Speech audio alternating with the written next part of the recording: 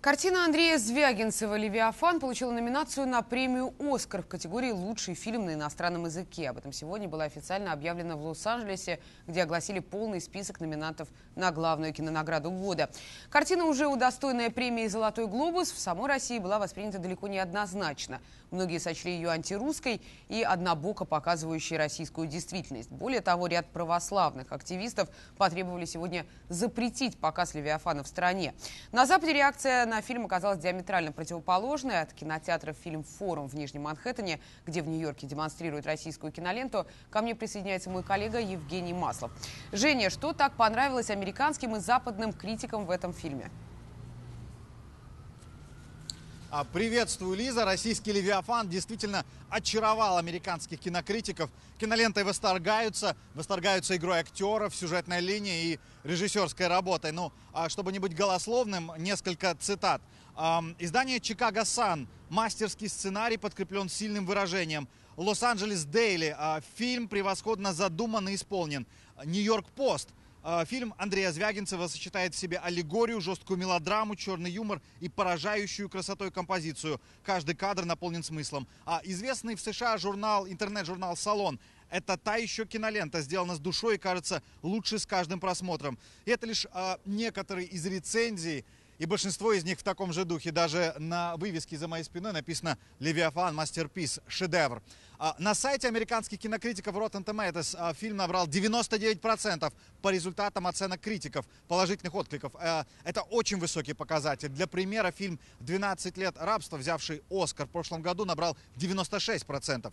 «Левиафан» Звягинцева – это интерпретация истории библейского персонажа Иова, действие которое перенесено а, в современную российскую действительность. Э, сам режиссер неоднократно рассказывал, что идею ему дала история в небольшом городке э, в штате Колорадо, где местный житель, проигравший территориальный спор местным властям, э, решивший, что с ним обошлись несправедливо, восстал, сел в, гусечный, в гусеничный трактор и снес несколько зданий.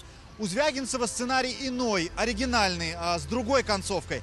Но по сути и та же история столкновений человека и власть имущих, о столкновении человека с системой. И эта история оказалась универсальной. Звягинцев снял ее в российских декорациях. И, похоже, именно это возмутило многих в России. Но в Соединенных Штатах фильм и его послание восприняли ни в коем случае не как очернение всей России. Понятно, что речь идет о маленьком городке на окраине.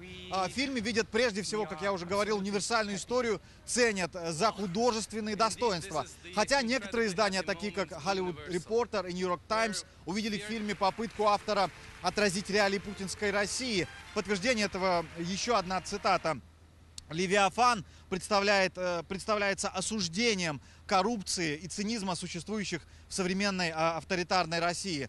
Э, еще раз напомню, это был Нью-Йорк Таймс, но в целом политические рецензии теряются на фоне исключительно художественных оценок киноленты. Здесь, в Нью-Йорке, она демонстрируется в нескольких кинотеатрах и пользуется огромным интересом, особенно после номинации на Оскар. А, в кинотеатре «Фильм Форум» следующий сеанс начинается через полчаса, и судя по табло в кассе, а, большинство билетов уже раскуплены. Шансы киноленты взять Оскар, мне кажется, Лиза, весьма высоки. Спасибо, Женя. С нами на связи был Евгений Маслов.